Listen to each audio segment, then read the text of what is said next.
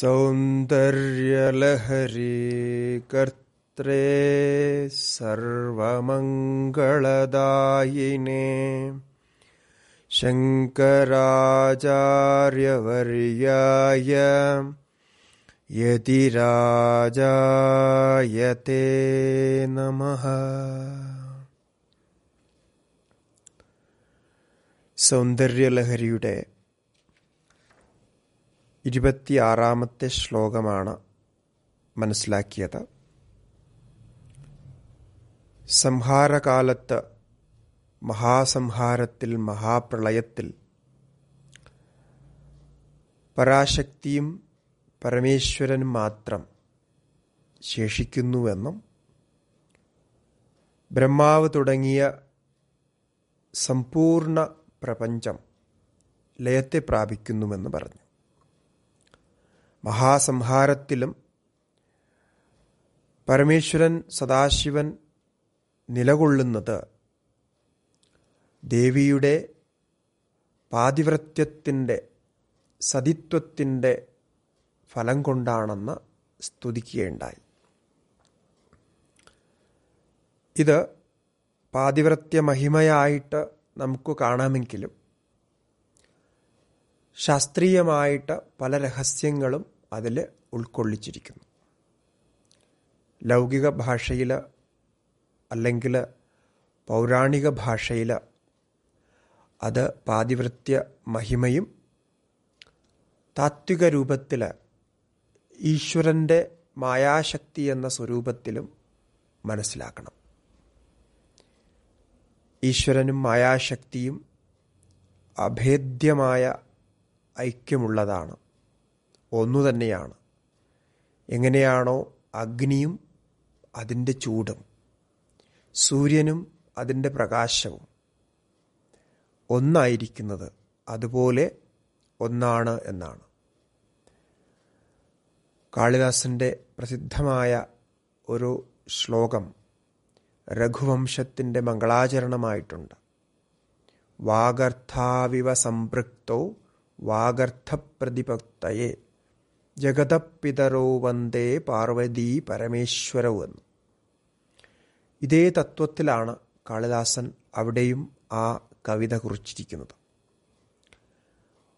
വാക്കും അതിന്റെ അർത്ഥവും എങ്ങനെയാണോ അഭിന്നങ്ങളായിരിക്കുന്നത് ഒന്നായിരിക്കുന്നത് അതുപോലെ ശക്തിയും ശക്തിമാനും അഗ്നിയും ചൂടും പോലെ തന്നെ ശിവനും ശക്തിയും ഒന്നായിരിക്കുന്നു എന്ന് പറഞ്ഞു. അപ്പം ഈ തത്വത്തെ ഒരു നാടകീയ ഭാഷയിൽ ഇരുപത്തിയാറാമത്തെ ശ്ലോകത്തിൽ പാതിവൃത്യത്തിന്റെ മഹിമയിലൂടെ പ്രകടമാക്കി. ഇതേ രീതിയിൽ ഇരുപത്തി എട്ടാമത്തെ ശ്ലോകത്തിലും പറയും. അതും സംഹാരത്തെ സംബന്ധിച്ച് തന്നെ സുധാമപ്യാസ്വാദ്യ എന്ന് തുടങ്ങുന്ന ആ ശ്ലോകത്തിൽ സതിത്വ മഹിമയെ വർണിക്കുന്നുണ്ട്. മധ്യത്തിൽ ഈ ഇരുപത്തിയേഴാമത്തെ ശ്ലോകവും അതിവിശിഷ്ടമാണ്. സാധനാരീതിയിൽ ചിന്തിച്ചാൽ ഏറ്റവും സരളമായ സാധന എന്ന് നമുക്ക് പറയാവുന്നത്. പൂർണവും എന്നാൽ ഏറ്റവും ഏറ്റവും സരളമായതുമായിട്ടുള്ള സാധനയാണ് ഇരുപത്തിയേഴാമത്തെ ശ്ലോകത്തിൽ വർണിക്കുന്നത്. മനോനാശം അഹങ്കാരനാശം വൃത്തി ക്ഷയം ഇതൊക്കെ ജ്ഞാനത്തിന്റെ രീതിയിലും യോഗത്തിന്റെ രീതിയിലും കർമ്മത്തിന്റെ രീതിയിലും സമാധി അഭ്യാസത്തിന്റെ രീതിയിലുമൊക്കെ പ്രാപിക്കേണ്ടതാണ്. പക്ഷെ അത് തന്നെ പൂർണ സമർപ്പണം കൊണ്ട് എല്ലാം അമ്മയിൽ സമർപ്പിക്കുന്നതുകൊണ്ട്, അല്ലെങ്കിൽ എല്ലാം നമ്മുടെ ആരാധ്യ ദേവനിൽ സമർപ്പിക്കുന്നതുകൊണ്ട് സാധ്യമാകുമെന്ന് ഈ ശ്ലോകത്തിലൂടെ സൂചിപ്പിക്കുകയാണ്. ശ്ലോകത്തിൽ പ്രവേശിച്ചുകൊണ്ട് തന്നെ അതിന്റെ ഉൾരഹസ്യങ്ങൾ നമുക്ക് മനസ്സിലാക്കാം. എന്നാൽ ഈ ഭക്തിമാർഗത്തിലെ ഈ സമർപ്പണത്തിന് നേരത്തെ ഭവാനിത്വം എന്നുള്ള ശ്ലോകത്തിൽ ഭക്തിമാർഗത്തിന്റെ രഹസ്യം പറയപ്പെട്ടതാണ്. അപ്പോൾ അത് ഭാവാത്മകമായ രീതിയിൽ സാധാരണ ഒരു ഭക്തന്റെ രീതിയിലാണ് എങ്കിൽ ഇവിടെ സാധനകളെയെല്ലാം ഉൾപ്പെടുത്തിക്കൊണ്ട് അതെല്ലാം മാനസികമാക്കി മാറ്റി അതിന്റെ എല്ലാം സമർപ്പണത്തിൽ കിട്ടുന്ന ആ മഹത്തായ ഫലത്തെയാണ് വർണിക്കുന്നത്. ഭഗവത്ഗീതയിൽ ഭക്തിയുടെ സാരമായിട്ട് സമർപ്പണത്തിന്റെ സാരമായിട്ട് ആത്മനിവേദനത്തിന്റെ സാരമായിട്ട്. ആത്മനിവേദനമെന്ന് പറയുമ്പോൾ തന്നെ തന്നെ തന്റെ മനസ്സിനെയും അഹങ്കാരത്തെയും അഭിമാനത്തെയും ജീവത്വത്തെയും ആത്മഭാവത്തിൽ ഭഗവാന്റെ മുന്നിൽ നിവേദ്യമായി സമർപ്പിക്കുന്നു. എല്ലാം നിവേദിക്കുന്നു. പുഷ്പം അർപ്പിക്കുന്നത് പോലെ ആചമനമർപ്പിക്കുന്നത് പോലെ അർഘ്യമർപ്പിക്കുന്നത് പോലെ തന്നെ തന്നെ നിവേദിക്കുകയാണ്. യത്കരോഷി യദശ്നാസി യജ്ജുഹോഷി ദദാസി യത്. തപസ്യസി കൗന്തേയ തത് കുരുഷ്വ മതർപ്പണം എന്ന ഗീതയിൽ ഭഗവാൻ ചൊല്ലിയതുപോലെ ഇവിടെ ശങ്കരാചാര്യ സ്വാമിജികൾ ആ ഉത്കൃഷ്ടമായ അതിസരളമായ ഭക്തിമാർഗത്തിന്റെ രഹസ്യം പറയുകയാണ്. ഈ ശ്ലോകത്തിന്റെ അർത്ഥചിന്തനം ചെയ്ത് ദിവസവും നമ്മൾ പ്രാർത്ഥിക്കുകയാണെങ്കിൽ എല്ലാ തരത്തിലും പൂജകളും ക്രിയകളും ചെയ്യുന്നതിന്റെ ഫലം നമുക്ക് ലഭ്യമാകും. അതോടൊപ്പം മനസ്സിന് ഏകാഗ്രതയും ശാന്തതയും സമാധി അവസ്ഥ കൂടി പ്രാപിക്കും. അത്ര ഏറെ ഫലമുള്ളതാണ് ഈ ശ്ലോകമെന്ന് സൂചിപ്പിക്കുകയാണ്. ശ്ലോകത്തിൽ പ്രവേശിച്ചുകൊണ്ട് അതിന്റെ അന്തരാർത്ഥം മനസ്സിലാക്കിക്കൊണ്ട് കൂടുതൽ ഇതിനെക്കുറിച്ച് ചിന്തിക്കാം. അന്വയാർത്ഥം പറയാവുന്നത് ആത്മാർപ്പണദൃശ ജപ ജൽപ്പ സകലമപി ശില്പം മുദ്രാവിരചന ഗതിപ്രാദക്ഷിണ്യക്രമണം അശനാദി ആഹുതിവിധി സംവേശ പ്രണാമ അഖിലം സുഖം മേ യദ്വിലസിതം ച തവ സപര്യാപര്യായ ഭവതു അവസാനം പറഞ്ഞത് തവ സപര്യാപര്യായ ഭവത് അല്ലയോ പരമേശ്വരി ഈ ക്രിയകളെല്ലാം എന്റെ ജീവിതത്തിൽ ഞാൻ ശരീരവും മനസ്സും കൊണ്ടും ചെയ്യുന്ന എല്ലാ ക്രിയകളും നിൻ തിരുവടികളുടെ തവ നിൻ തിരുവടികളുടെ പൂജയുടെ ഒരു തരം പൂജയായി തീരട്ടെ. സപര്യ എന്ന് പറഞ്ഞാൽ പൂജയാണ്. പര്യായ എന്ന് പറഞ്ഞാൽ ഒരു തരം. അതൊരു പൂജയായി തീരട്ടെ എന്ന് പറയുന്നത് കവിതാ ഭാവനയിൽ സപര്യാപര്യായ എന്ന് ഇവിടെ യമകാലങ്കാരം ചേർത്ത് പറഞ്ഞു. അങ്ങനെ എല്ലാം പൂജയാക്കി തീർക്കുന്നൊരവസ്ഥ. അതാണ് ഇവിടെ വർണിക്കുന്നത്. എന്തൊക്കെയാണത് എന്ന് പറഞ്ഞാൽ ആദ്യം പറയാവുന്നത് ഇതെല്ലാം ആത്മാർപ്പണ ദൃശ വേണം. ആത്മാർപ്പണ ദൃശ ആത്മാവിനെ തന്നെ അർപ്പണം ചെയ്യുന്ന ദൃഷ്ടിയിൽ ആത്മാർപ്പണം ചെയ്തുകൊണ്ട് തന്നെ ഈ ഭാവന ചെയ്യണം. അല്ലാതെ വെറുതെ ഇത് ചൊല്ലുന്നു അല്ലെങ്കിൽ ഇതിങ്ങനെ മനസ്സിലാക്കുന്നു എന്നതുകൊണ്ട് ഫലമില്ല. അവിടെ അർപ്പണ ബുദ്ധി ഉണ്ടാകണം സമർപ്പണ ബുദ്ധി ഉണ്ടാകണം. എല്ലാം ആത്മാവ് ആത്മാവിൽ എന്തൊക്കെയുണ്ടോ അതെല്ലാം പരാശക്തിയുടെ ശക്തിവിലാസമാണ് എന്ന് മനസ്സിലാക്കി.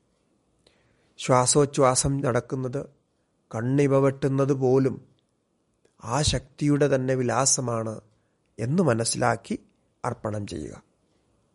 അവിടെ ഒന്നും ശേഷിക്കുന്നില്ല.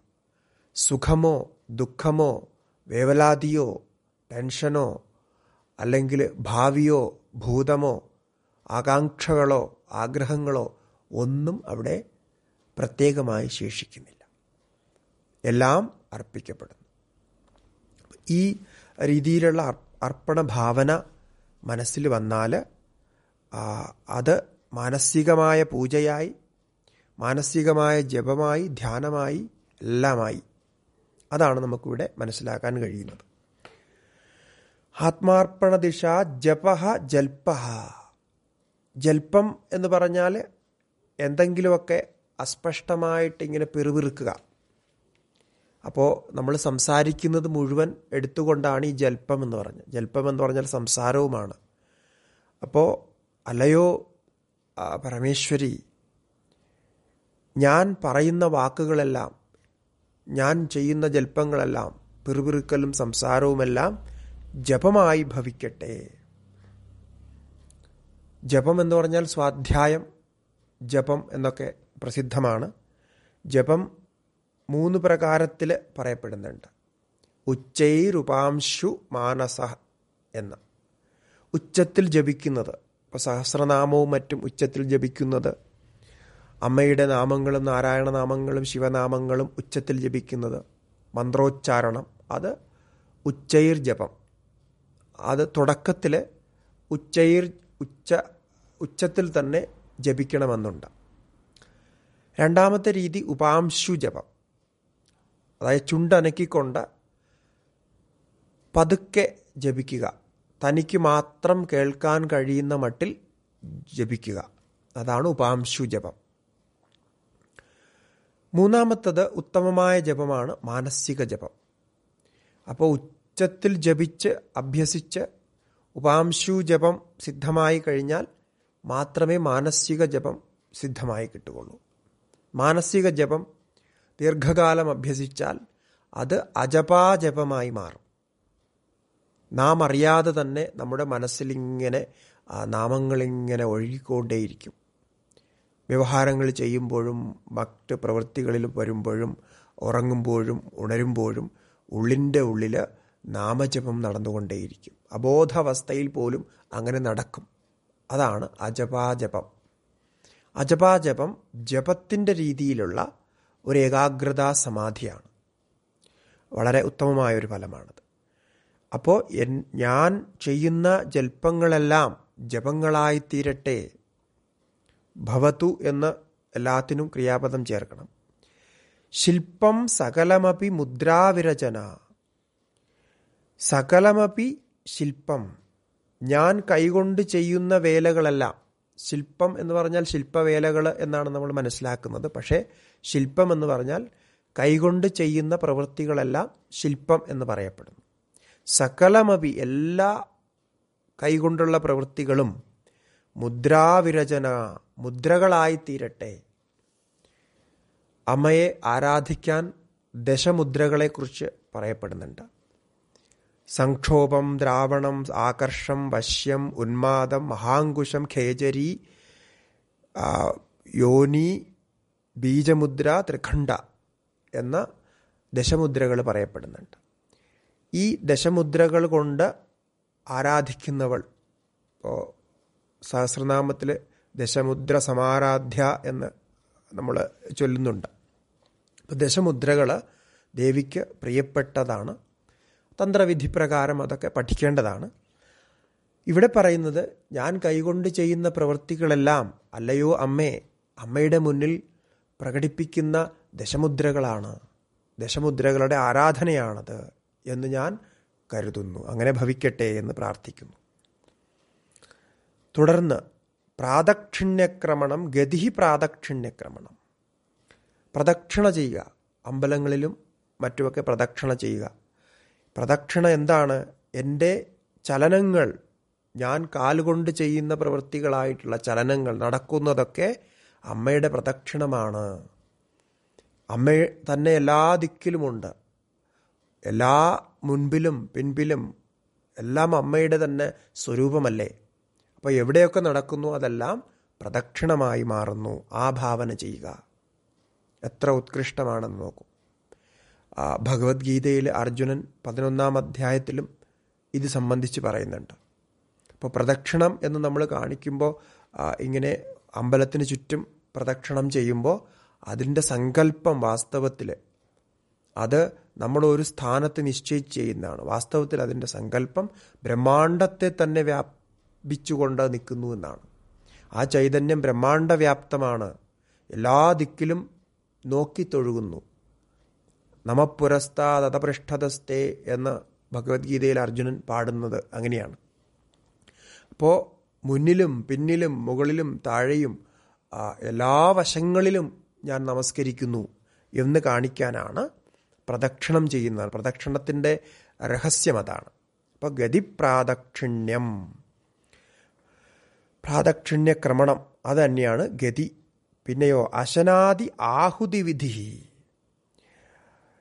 ഭക്ഷണം കഴിക്കുകയും കുടിക്കുകയും വെള്ളം കുടിക്കുകയൊക്കെ ചെയ്യുന്നത് ആഹുതിയാണ്. അത് ഹവിസ് ഹോമം ചെയ്യുന്നത് പോലെയാണ് എന്നാണ് അപ്പം അമ്മയ്ക്ക് ചെയ്യുന്ന ഹോമമാണ് ഹവിസ് ആഹുതി വിധി എന്ന് പറഞ്ഞാൽ ദേവത ഉദ്ദേശിച്ചുകൊണ്ട് ഹവനം ചെയ്യുന്നതിനെയാണ് ആഹുതി വിധി എന്ന് പറയുന്നത്. അപ്പോൾ ഭക്ഷണം കഴിക്കുമ്പോൾ അങ്ങനൊരു വിധിയുണ്ട്. അപ്പോൾ ഗീതയിൽ പറഞ്ഞതുപോലെ അഹം വൈശ്വാനരോ ഭൂത്വ പ്രാണിനാം ദേഹമാശ്രിത പ്രാണാപാന സമായുക്ത പജാമ്യന്നം ചതുർവിധം എന്ന് നമ്മൾ കേട്ടിട്ടുണ്ട്. ഭഗവാൻ തന്നെ ജഠരാഗ്നിയായി ഉദരത്തിനുള്ളിൽ സ്ഥിതി ചെയ്യുന്നുവെന്നും ആ ജഠരാഗ്നിയിൽ എങ്ങനെയാണോ ഹോമകുണ്ടത്തിൽ നമ്മൾ ഹവിസ് അർപ്പി അർപ്പിക്കുന്നത് അതുപോലെ ആ ജഠരാഗ്നിയാകുന്ന അഗ്നിയിൽ ഹവിസ് സർപ്പിക്കുന്നു എന്ന് സങ്കല്പിച്ചുകൊണ്ട് ഓരോ ഉരുള ഭക്ഷണവും ഉള്ളിലേക്ക് ഇടുകയാണ്. വായ്ക്കുള്ളിലേക്ക് ഇടുമ്പോൾ അത് ഹവനകുണ്ടത്തിലിടുകയാണ് എന്ന് സങ്കല്പിക്കുക അപ്പോൾ അതൊരു ഉത്കൃഷ്ടമായ ഹോമമായി തീരുകയാണ് അപ്പോൾ അമ്മയോട് ഇവിടെ പ്രാർത്ഥിക്കുകയാണ്. ഞാൻ ചെയ്യുന്ന ഞാൻ ഭക്ഷിക്കുന്ന ഭക്ഷണവും കുടിക്കുന്ന ജലവുമെല്ലാം നെയ്യും ആഹുതികളും ആയിട്ട് തീരുകയാണ്. അത് ഹോമവിധിയാണ്. ഭക്ഷണം കഴിക്കുമ്പോൾ പഞ്ച ആഹുതി കൊടുക്കുന്ന ഒരു വിധിയുണ്ട്. അത് സാധകരൊക്കെ അനുഷ്ഠിക്കാറുണ്ട്. പ്രാണായാമത്തോടുകൂടി പ്രാണനെയും അപാനനെയും വ്യാനനെയും ഒക്കെ സങ്കല്പിച്ച് നമ്മൾ നൈവേദ്യം ചെയ്യുന്ന അതേ വിധി പ്രകാരം പഞ്ചാഹുതി അതിന് വൈശ്വാനര വിദ്യ പറയുക. ആ പഞ്ചാഹുതി വിധി എങ്ങനെയാണോ അത് ഞാൻ ഇവിടെ ചെയ്യുന്നു എന്ന് ഞാൻ സങ്കല്പിക്കുകയാണ് പ്രണാമ സംവേശ പ്രണാമ സംവേശം എന്ന് പറഞ്ഞാൽ കിടക്കുക ശയനമായി കിടക്കുക. ഞാൻ കിടക്കുന്നത് എപ്പോഴാണോ ഞാൻ വിശ്രമിക്കാൻ കിടക്കുന്നത് അത് നിൻ നിനക്ക് ചെയ്യുന്ന പ്രണാമമാണ് പ്രണാമവിധിയാണ്. നമസ്കാരവും ഒരു ആചാരമാണ്. ആചാരങ്ങളിൽ നമ്മൾ പല രീതിയിലുള്ള ആചാരങ്ങൾ പറയാറുണ്ട്. പഞ്ചോപചാരം ഷോഡശ ഉപചാരം ചതുർവിംശതി ഉപചാരം ഷഷ് ചതുഷ്ഷഷ്ടി ഉപചാരം എന്നൊക്കെ.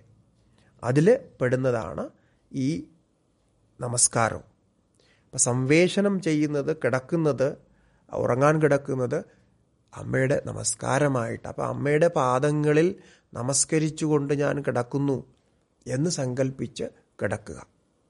അതാണ് ഇവിടെ ദണ്ഡവത് പ്രണാമമായിട്ട്. ദണ്ഡവത് പ്രണാമം നമ്മൾ ചെയ്യാറുണ്ട്. സാഷ്ടാംഗ പ്രണാമം. അത് ഉറക്കം തന്നെയാണ്. സുഖമഖിലം ആത്മാർപ്പണദൃശ. സുഖമഖിലം എന്തൊക്കെ സുഖം ഉണ്ടാവുന്നുവോ ശബ്ദാദി വിഷയങ്ങൾ. ഇപ്പോൾ ഓരോന്നിനെ എടുത്തു പറയാൻ പറ്റില്ല. വിസ്തരിച്ചുള്ളതാണ്. അപ്പോൾ ശബ്ദാദി വിഷയങ്ങളെ ശബ്ദം രൂപം രസം ഗന്ധം തുടങ്ങിയ വിഷയങ്ങളെയൊക്കെ ഞാൻ ആസ്വദിക്കുന്നത്. പൂർണമായിട്ടും ആ അതെല്ലാം അമ്മയ്ക്ക് സമർപ്പിക്കുന്നു. അംഗപ്രത്യംഗങ്ങൾ ചലിക്കുന്ന ചലിപ്പിക്കുന്നതെല്ലാം അമ്മയുടെ പൂജയാണ്. കണ്ണിമ വെട്ടുന്നത് പോലും അമ്മയുടെ പൂജയാണ്. അതെല്ലാം മന്ത്രോച്ചാരണമാണ്. ശ്വാസോച്ഛ്വാസം പ്രാണായാമ വിധിയാണ്. അത് സോഹമെന്ന മന്ത്രോച്ചാരണമാണ്. ഇങ്ങനെ ആ ഭാവത്തിൽ മുഴുവനായിട്ട് കാണുക. എല്ലാ ക്രിയകളെയും അതിൽ സമർപ്പിക്കുക. അത് ആണ് ഒരു വിധി ഒരു പ്രകാരത്തിലുള്ള പൂജാവിധിയാണ്. സപര്യാ പര്യായ. അത് പൂജാവിധിയായിത്തീരുന്നു എന്ന് പറയുകയാണ്. അപ്പം ഈ ഒരു ഭാവന ഇത് വളരെ വിചിത്രമായിട്ട് തോന്നാം. നമ്മൾ ചെയ്യുന്ന പ്രവൃത്തികളെയെല്ലാം പൂജയായിട്ട് കണക്കാക്കാൻ കഴിയുക എത്ര ഉത്കൃഷ്ടമാണ് എന്ന് തോന്നാം. അപ്പോൾ ഇത് സംബന്ധിച്ച് ശാസ്ത്രങ്ങളിൽ ഇപ്പോൾ വേദങ്ങളിലും ഉപനിഷത്തുക്കളിലും പ്രമാണം കിട്ടുന്നുണ്ട്. ശങ്കരാചാര്യ സ്വാമിജികൾ സാധാരണ ലോക ജനതയ്ക്ക് വേണ്ടി സാധാരണ ആൾക്കാർക്ക് വേണ്ടി വിധികളും പ്രമാണങ്ങളും ഒന്നും അറിയാത്തവരും ഇത്തരത്തിൽ വിസ്തരിച്ച് പൂജാവിധികളൊന്നും അനുഷ്ഠിക്കാൻ കഴിയാത്തവർക്കുമായി സാധാരണ ജനങ്ങൾക്ക് വേണ്ടി കരുണാർദ്ര ഹൃദയനായ ഭഗവത്പാദ സ്വാമിജികൾ മാനസപൂജ പറയ പറഞ്ഞിട്ടുണ്ട്. എങ്ങനെയാണോ ഇവിടെ സൗന്ദര്യലഹരിയിൽ ഇരുപത്തിയേഴാമത്തെ ശ്ലോകത്തിൽ ഈ ജപ ജപോജൽപ്പശില്പം എന്ന വിധി പറയുന്നത്.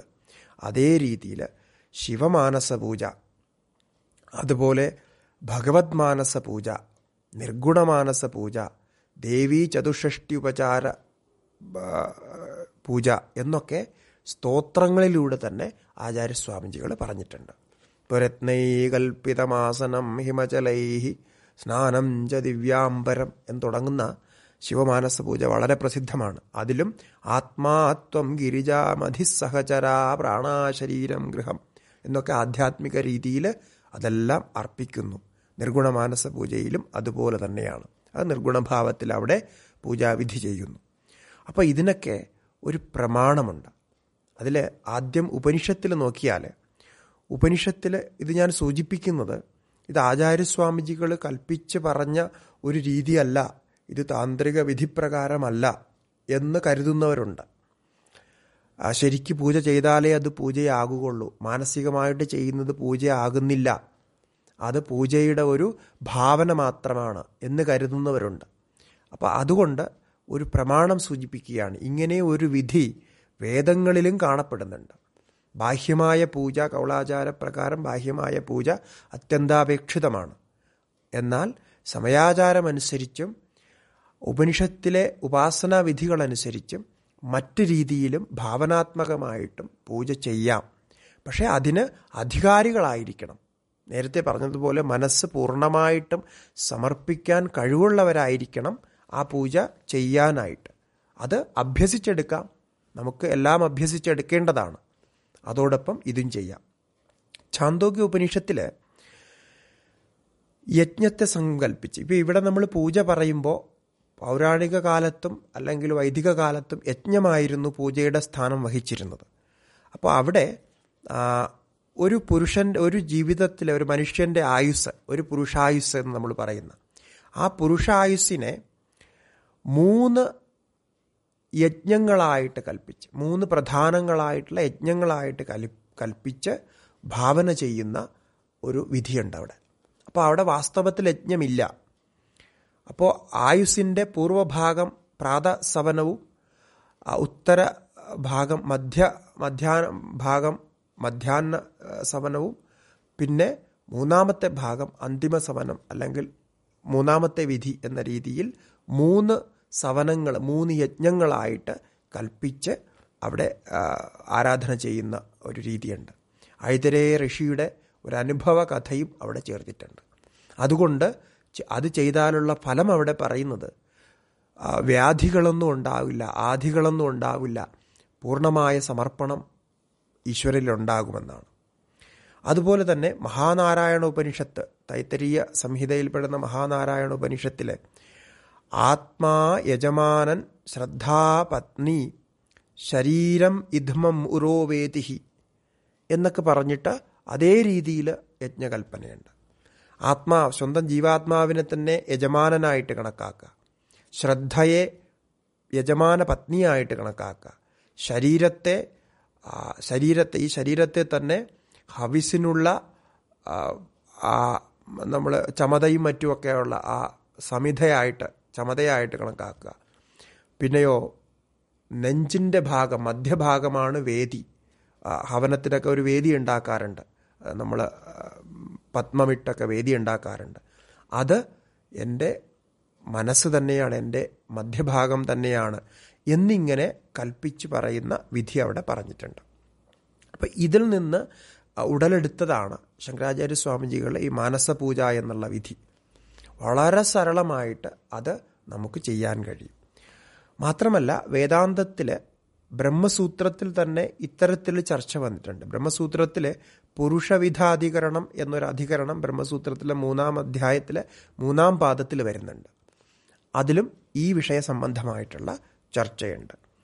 പിന്നെ ഇതുപോലെ തന്നെ തന്ത്രശാസ്ത്രങ്ങളിലും തന്ത്രശാസ്ത്രങ്ങളിൽ പറയുന്ന വിധികളിൽ അല്പസാര പൂജയെ രണ്ട് പ്രകാരത്തിൽ പറയുന്നുണ്ട്. അല്പസാര മഹാസാര എന്ന്. അല്പസാര എന്ന് പറയുന്നത് കർമ്മസംബന്ധമായിട്ടുള്ള കർമ്മബന്ധം മാലിന്യം അതിൽ നമ്മൾ ധൂപദീപാദികളെല്ലാം ഉപയോഗിച്ച് പഞ്ചോപചാരം ഷോഡശോപചാരം ചതുർവിംശതി ഉപചാരം ചതുഷ്ഷ്ടി ഉപചാരം എന്നൊക്കെ പ്രസിദ്ധമായിട്ടുള്ള ഉപചാരങ്ങളോടുകൂടി ചെയ്യുന്നതിന് അല്പസാര എന്ന പേര് പറഞ്ഞിരിക്കുന്നു മഹാസാര പിന്നെ എങ്ങനെയാണ്? മഹാസാര പൂജാവിധി പറയുന്നത് മനോഭാവനയോടുകൂടി അവിഛിന്നമായിട്ട് നിരന്തരം ആരാധ്യദേവനെ ഭാവിച്ചുകൊണ്ട് ഈ പറഞ്ഞ രീതിയിൽ ആത്മസമർപ്പണം ചെയ്യുന്ന രീതിയാണ് മഹാസാരാ പൂജയായിട്ട് പറഞ്ഞിരിക്കുന്നത്. അത് വളരെ വിശിഷ്ടമാണ് എന്ന് ആ പേരിൽ നിന്ന് തന്നെ മനസ്സിലാകുന്നു. അതുപോലെ മറ്റൊരു രീതിയിൽ ദക്ഷിണാമൂർത്തി സംഹിത എന്ന ഒരു തന്ത്രശാസ്ത്രങ്ങളിലുള്ള ഒരു ഗ്രന്ഥമുണ്ട്. അതിലും രണ്ട് രീതിയിൽ പറയുന്നതിൽ ഷോഢാന്യാസം മഹാഷോഢാന്യാസം എന്ന പേരാണ് അവിടെ പറഞ്ഞിരിക്കുന്നത്. നിത്യശുദ്ധനായിട്ടുള്ള ഒരാൾ നിത്യശുദ്ധനായിട്ടുള്ളൊരു സാധനം പരമശുദ്ധിയെ പ്രാപിക്കാൻ മഹാഷോഡാന്യാസകർത്ത ശുദ്ധോ ഭവതി സർവതാ ജപോ ജൽപ്പോ ഭവേ തന്ത്ര സമാധിരഭിധീയത്തെ എന്ന് പറയുന്നുണ്ട്. നോക്കൂ ഇതേ വാക്കുകളാണ് അവിടെ ഉപയോഗിച്ചിരിക്കുന്നത്. ആചാര്യസ്വാമിജികൾ താന്ത്രിക വിധിപ്രകാരമുള്ള ഗ്രന്ഥങ്ങളെ നന്നായിട്ട് അവലോകനം ചെയ്തിട്ടുണ്ട് എന്ന് സൗന്ദര്യലഹരിയുടെ പല ഭാഗങ്ങളും നോക്കിയാൽ പൂർണമായിട്ടും നമുക്ക് മനസ്സിലാകും. അതിലെ ഒരു ഭാഗമാണ് ഇവിടെ ഇപ്പം ജപോജൽപ്പം എന്ന് അവിടെ പറയുന്ന ദക്ഷിണാമൂർത്തി സംഗീതയിൽ പറയുന്ന അതേ കാര്യമാണ് ജപോജൽപ്പം എന്ന് ഇവിടെ തുടങ്ങിയിരിക്കുന്നത്. ഭാവന ഒന്ന് തന്നെയാണ്. അപ്പോൾ അവിടെ മഹാഷോഡാന്യാസകർത്താവായിട്ടുള്ള ആൾ ശുദ്ധനായി ഭവിക്കുന്നു പരമശുദ്ധനാകുന്നു ജ്ഞാനിയായിത്തീരുന്നു ജീവൻ മുക്തനായി തീരുന്നു എന്ന് അവിടെ ഭാവന ചെയ്യുന്നുണ്ട്. ഇത് പരാഭാവന എന്നാണ് അറിയപ്പെടുന്നത്. അപ്പോൾ അവിടെയും ജപോജൽപ്പം ജൽപ്പം തന്നെയാണ് ജപം. തന്ത്ര തന്ത്ര എന്ന് പറഞ്ഞാൽ ഉറക്കം ഉറങ്ങുക നമ്മൾ ഉറക്കം തൂങ്ങുക. അങ്ങനെ ഉറക്കം തൂങ്ങുന്ന ഭാവം വരുന്നതാണ് സമാധി.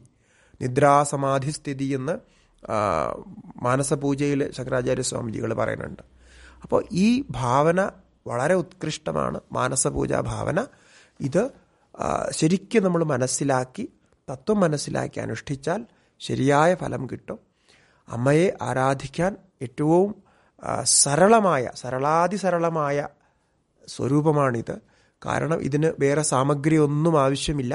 നമ്മുടെ തന്നെ മനസ്സും നമ്മുടെ തന്നെ ശരീരവും നമ്മുടെ തന്നെ ഭാവനയും അവിടെ സാമഗ്രിയായിട്ട് ഉപയോഗിക്കുന്നു. ഇത്രയും ഈ ശ്ലോകത്തെ സംബന്ധിച്ച് ഇങ്ങനെയാണ് മനനം ചെയ്യാൻ കഴിഞ്ഞത്. ഇത് ദേവീപാദങ്ങളിൽ ഈ ശ്ലോകത്തിൽ പറഞ്ഞതുപോലെ തന്നെ ആത്മാർപ്പണ ദൃശ അർപ്പിച്ചുകൊള്ളുന്നു.